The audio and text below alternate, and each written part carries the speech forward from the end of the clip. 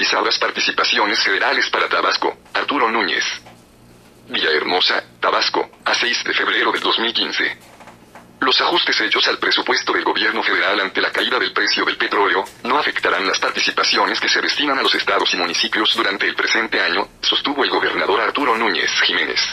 Por lo que toca a participaciones fiscales, no nos va a impactar hasta donde nos ha informado la Secretaría de Hacienda. Entrevistado al término del festejo a odontólogos tabasqueños, Núñez Jiménez explicó que existe un fondo constituido para garantizar la estabilidad de las participaciones federales, mismo que se está aplicando actualmente para no afectar las participaciones que se entregan a estados y municipios.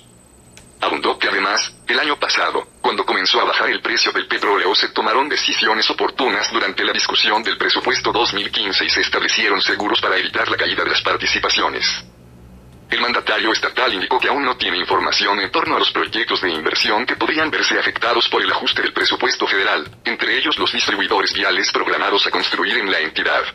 Obviamente, sí nos impacta porque van a reducir el presupuesto federal en toda la cantidad que se dijo.